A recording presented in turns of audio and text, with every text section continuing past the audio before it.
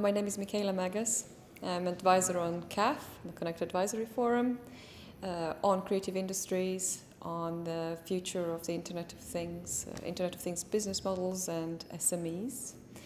I'm now also co-chairing the um, innovation ecosystems of the new European Alliance for Internet of Things Innovation.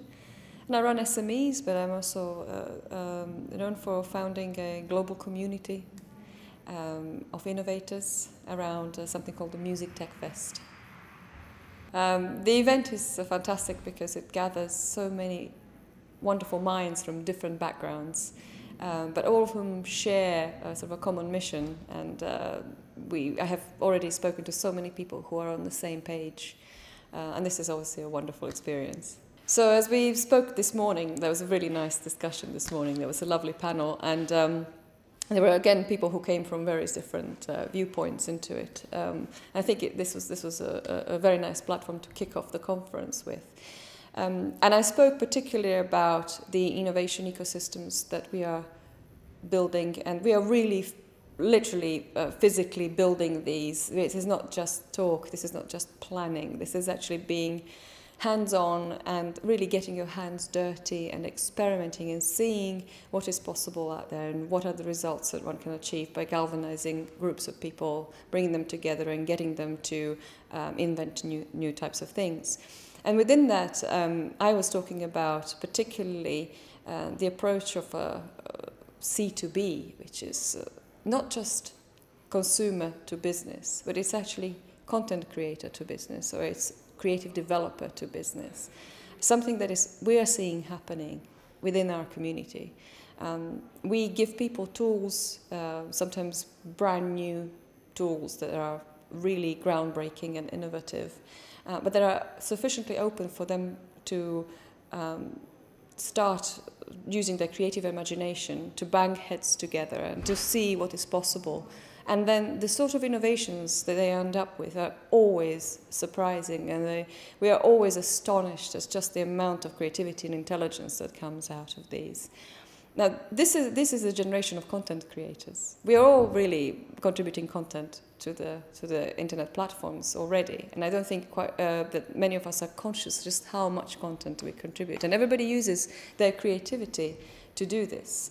Um, now, we are actively encouraging this, but also now in the new space of the physical internet, the physical interaction, we can also develop um, makers, uh, producers, um, craftspeople, uh, people who are low tech, high tech, all sorts of types of people who are creative in this space can contribute um, to the physical internet. Um, and the interesting part for me in this is that this is creating a new kind of market. Uh, it's not just crowdfunding, which allows us to invest in the sort of ideas that we believe in, but also uh, we can become crowd makers that are united by a common platform. So, for instance, my product can be using data that your product has generated, providing that they speak the same language. And this is a very exciting new space. I campaign a lot about the support to SMEs and startups. And managing these groups of people um, is not the same as managing large organizations or academic institutions. Yet the boxes that we have in terms of the uh, rules and regulations that are in, in, the Commission in terms of running these projects are the same uh, for SMEs as they are for large organizations. Now, it is very difficult to create this new space uh, with these circumstances, and we are looking at different types of guidelines that we can have both in terms of technology guidelines, how we assess something for risk, how we enable technologies to go to early adopters, how do we involve people at early stages in terms of decision making and um, and uh, routing the research in a particular direction or the innovation. Um, so there are whole sets of guidelines that we managed to pass through CAF that were really uh, welcomed by the Commission.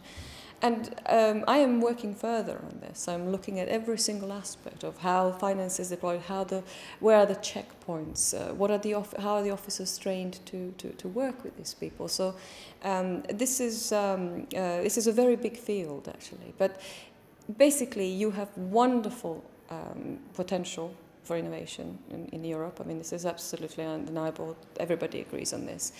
What we need to do is make sure that the structures that are underlying this are supported. The biggest opportunity for me is new ways of communicating.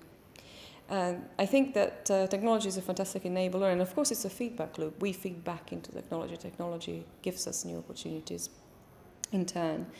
Uh, for me, this new space, uh, physical interaction, allows us to express ourselves the way that children do, with gesture and signaling. And that's wonderful because that uh, allows us to bridge such, uh, certain cultural barriers.